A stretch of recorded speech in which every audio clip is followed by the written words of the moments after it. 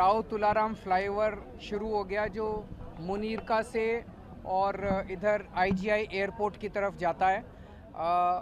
Airport जाने के दो तीन रास्ते हैं मेन, जिसमें ये मेन रास्ता है। तो अब एयरपोर्ट जाने के लिए और गुड़गांव जाने के लिए लोगों को बहुत सहूलियत होगी। ट्रैफ़िक कंजेशन ख़त्म होगा, पर्यावरण बचा करेगा।